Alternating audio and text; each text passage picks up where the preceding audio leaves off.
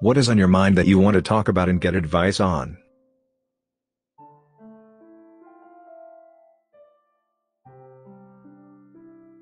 Secret conversations with a teenager. My husband has been chatting to a girl for months behind my back. We are around 40 and she is a teenager. I really don't know how to make sense of this situation, and thought it might be a good idea to ask for advice here before I do something stupid. My husband and I have been happily married for over 10 years.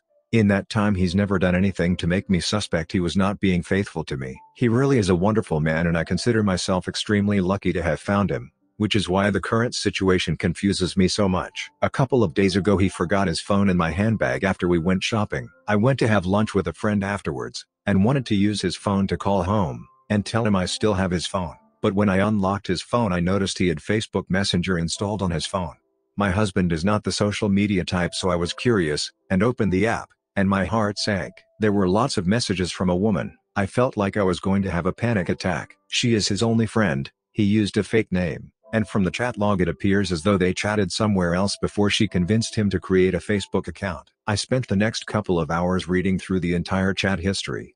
Turns out for months he's been talking to a teenage girl who lives in Georgia, we're in Vermont. The reason I'm so confused about what to do is because nothing sexual appears to be happening. They texted about all sorts of things, and the times she tried to steer the conversation in a sexual direction, he shut it down pretty quickly and changed the topic. He also wasn't trying to hide the fact that he's married. On the contrary, some of the things he told her about me was actually very sweet.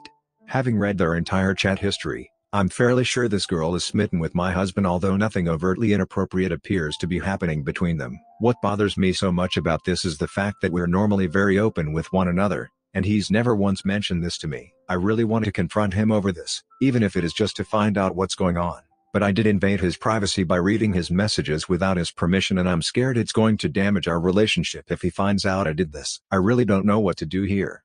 Just to clarify, the messages she sent him weren't eliciting sex. For example, at one stage they spoke about relationships, and she mentioned her ex-boyfriend tried to pressure her into it. He told her any guy that respected her would not pressure her into it, and then change the topic. However, from the way that she constantly tries to flatter, and compliment him it feels like she's very much into him. I obviously don't have the chat log with me so I can't recall verbatim everything they said, since there were literally thousands of messages, but nothing jumped out to me as being inappropriate.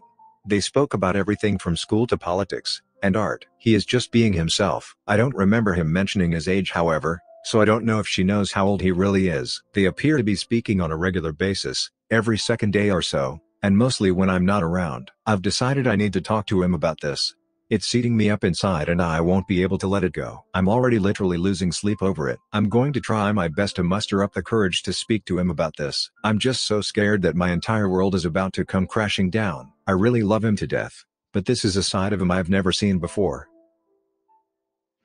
Should I reach out to the man responsible for my brother's death? I am a female in my early 40s. He is 70-ish, and my brother was 8. TLDR, my older brother was killed in a horrible car accident when I was a kid. I've always wanted to talk to the man who was driving the truck that hit us, and I've found his contact information in the phone book. Would it be wrong for me to reach out to him? My older brother Aiden was killed in a car accident when I was 5 years old. Aiden was 8 years old. My mother, two brothers, and I were in our car in a left turn lane. A dump truck driver, Mitch, ran a red light, and hit us. Aiden was killed instantly. My younger brother, and mother were critically injured but survived. I had minor physical injuries, but was mentally scarred from the experience, and seeing Aiden laying dead on the side of the road. Mitch was the one who pulled me from our car, and I remember how freaked out he was. Mitch did not have a driver's license because it had been revoked from too many DUIs. He was not drunk when he was driving that day. He was driving a dump truck for a landscaping company, and the dump truck was found to be faulty on many levels. He had run the red light because the brakes did not work. In any case, my parents sued, and won a financial settlement. Mitch served about two weeks in the workhouse, but that was the extent of his punishment. The accident was in the mid-1980s. Throughout my adulthood, I've kind of wanted to talk to Mitch. I'm not even sure what I want from him, just to talk about what happened since I was so young, and I thought talking to him would help provide some closure. I wouldn't mind an apology, but would not necessarily expect that. Thanks to the magic of the internet, I found his contact information online in the phone book. I've been thinking about reaching out for the past couple of months, thinking that sending a letter would be best. Do you think it would be wrong for me to reach out to him? Also, I have been through therapy, about the accident, and about other traumas. I never addressed Mitch specifically, except for what my mother coached me to talk about regarding him. I'm not currently in therapy, but since I've been having old memories and feelings popping up recently, I should get back in therapy when I can get health insurance. Would we be unreasonable for eloping when the wedding is this weekend? My girlfriend and I had planned to get married on Saturday. We wrapped up all our planning around Halloween. All that was left was to ring some time this week, and make sure everything was running smoothly. She called the venue, and the person she spoke to asked her to confirm some changes she'd apparently made. My girlfriend had no clue what he was talking about, and he reminded her of all the changes that had been put in recently. We had not approved any of these changes. We were able to get some of it put back the way it was, but there are some things that we couldn't change back at such short notice. The venue forwarded us the emails asking for the changes so we could look over them. Our communication was being done via an email account we created solely for wedding stuff, and the email address which asked for the changes is the exact same address, except two letters are switched round. The venue is very apologetic for not calling us directly, but can only fix so much of it at this stage. We think we know what happened. The whole time we were planning the wedding we got pushback from both sets of parents, and the stuff they had the biggest issues with have all been changed. I'm willing to bet that all of this was related to at least one of our respective parents. We don't know anyone who would want to F with us or the wedding this badly except our parents, who got pissy when we told them they couldn't financially contribute to the wedding because they were trying to trade their money for whatever wedding stuff they wanted. Right now the stuff that we wanted that is still in this wedding is my suit, the venue, and the DJ.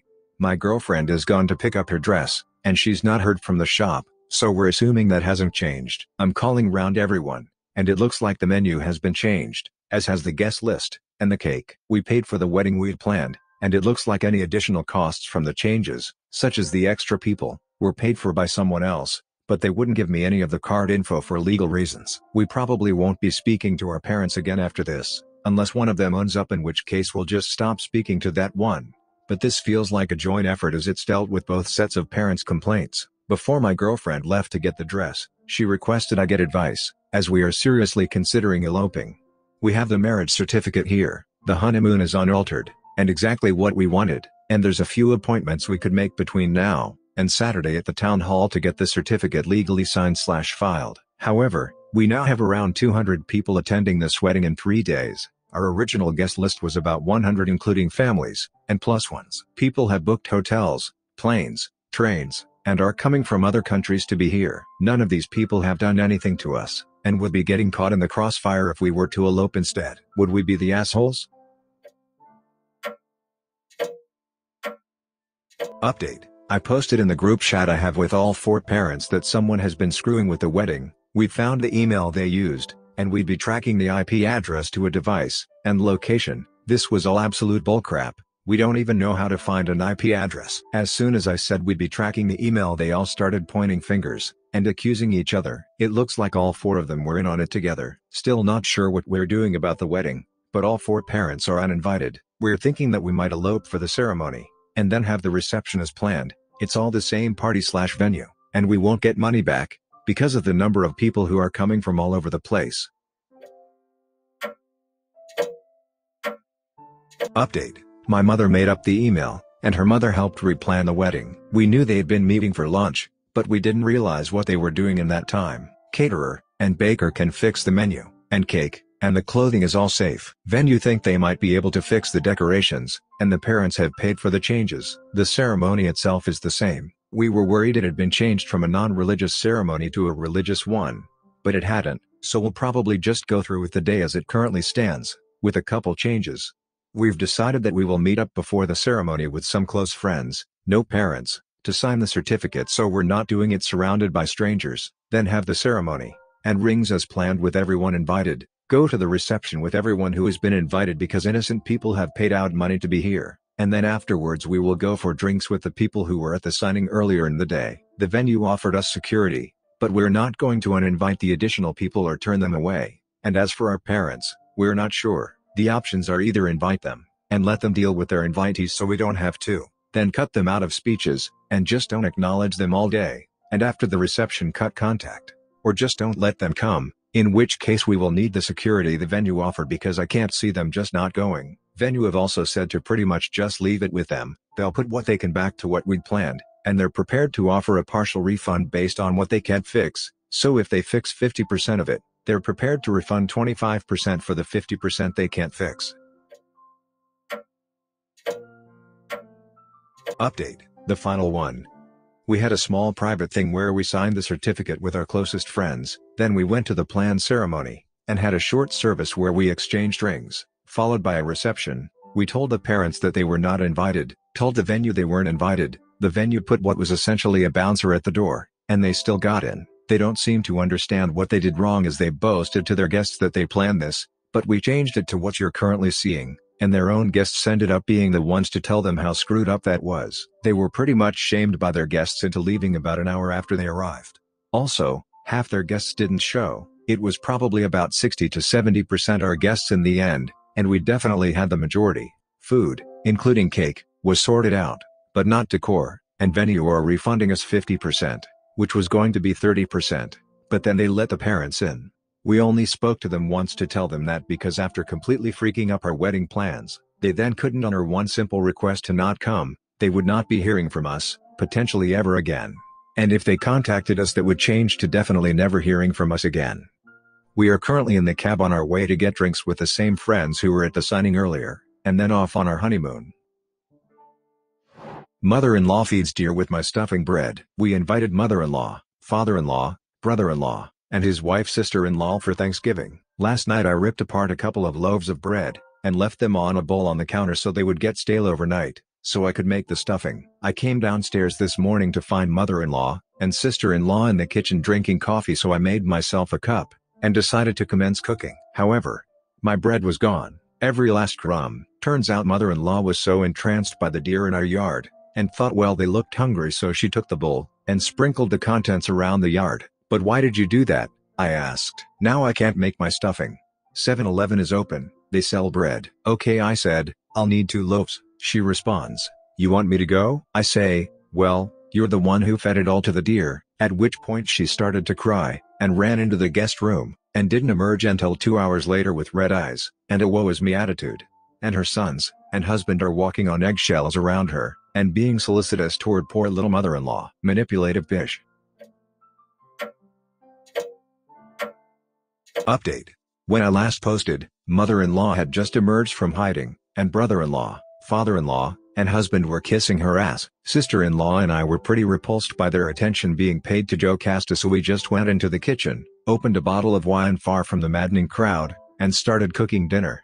An hour later, husband comes into the room, and finally asks me what happened. I told him and, of course, he said that she didn't mean to give our stuffing away, and why am I making such a big deal out of it? I let him know that I had set the stuffing bread out overnight so that it would have the crispy crust we love. Here's the rest of the conversation best as I can remember it.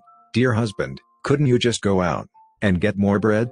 Me, I'm not the one who gave away the stuffing bread plus I have an entire meal to cook. Dear husband, well, you didn't mean to be so nasty to mom about it. Me, I wasn't nasty at all. I just told her what kind of bread to get at the store. Dear husband, you know she's not familiar with the area. Note, dear husband has been stationed here for five years, and his parents visit several times a year. It's not a hard place to find you way around, you really hurt her feelings. Me, I didn't mean to hurt her feelings, I just needed the bread. Dear husband, did you go out and get it? Me, no, I have been busy. That's why I asked her. Dear husband, fine.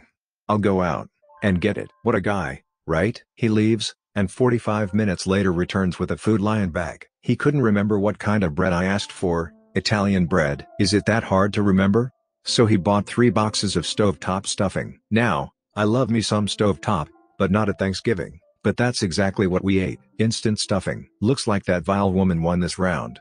Note, dear husband is awesome except when he's around his mother. It's always been a little weird but this was definitely the most ridiculous episode. I don't understand how this man is smart enough to run a nuclear reactor, but turns into a 180 pound glob of jello when it comes to her. Another note, he will not be getting any for a while. Am I the unreasonable one for making a complaint against a nursery worker due to how she reacted to my wife picking our kid up? My wife and I have two kids, a daughter, and a son. My wife is an essential worker as she's a doctor. She works extremely long hours with hardly any days off whilst I work a typical 9 to 5 job, so I've always taken care of arranging the kids for school, and care etc. Well with lockdown, I've been able to homeschool my daughter, but since my wife is an essential worker, My son's nursery has still been able to take him and so I have dropped him off there as normal as even though I'm homeschooling my other kid, I'm fitting that around me working from home. It makes it easier for my son to still have his routine, and so I can do my work, and so on. Anyway, I was going to pick him up like normal, but my wife chose to do it as she was off at that time, and could actually get him. The people at this nursery know my wife as do the parents, even though she's rarely there. She was actually happy to be able to pick our son up from the nursery for once, and I thought it went fine until she came home in tears. She told me this nursery worker who has just started there didn't believe that my wife was our son's mother as this worker had only ever seen me. The other workers, and my son told her that my wife was in fact the mother, and that she wasn't a danger to my son. The new worker still didn't believe it, and said that she didn't feel comfortable with letting a three-year-old go off with a random woman she'd never seen before. My wife got really upset and it and then upset my son as everybody was practically saying there was no danger as my wife was a mother. A few other parents got dragged into this, and backed up the other staff, and it was only through relenting that the new worker gave up. But she made a really angry comment along the lines of, maybe if you were here more often, I wouldn't have to verify your identity. My wife wants to forget it happened, but I am very angry. So the next day I picked up my son, and asked to speak to the woman in charge about the new worker. She wasn't there when it happened, but I complained and said that how my wife was treated was ridiculous, and that the coworker was out of line for her snide comment at the end. The woman wasn't happy, and I've now learnt the new worker has been given a severe warning, and that her behavior is being watched. The parents who backed my wife up are torn. Some think I did the right thing as the woman didn't act professional whilst others think I'm unreasonable for interfering. My wife is annoyed as she thinks I shouldn't have said anything. I really don't know if what I did was right or wrong so am I the unreasonable one? My mother left the gas oven open while I was asleep, and went out. My mother cooked something on the gas oven, and left it there for hours then went out completely forgot about it. She locked the front door and I was asleep in my bedroom. I suddenly woke up, and found a lot of smoke everywhere in the house. The kitchen is at the back of the house so I had to go past a lot of smoke in the air without seeing anything to reach the kitchen. But I didn't do that, I didn't know where the smoke came from so I ran out of the house to the front door, and yelled for help. My mother was joining a wedding party next door, when she heard me, she immediately ran into our kitchen to turn the gas off. Then, she turned at me, and started to yell, why the hell didn't you go in, and turn it off? Are you freaking stupid or what? I was shocked, I could have died if I didn't wake up in time, and now everything is my fault.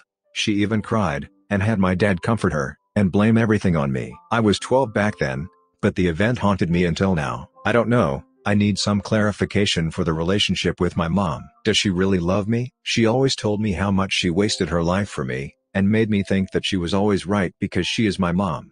She told me she loves me and I'm the one who doesn't respect my parents, and bad luck gonna come to me because of it.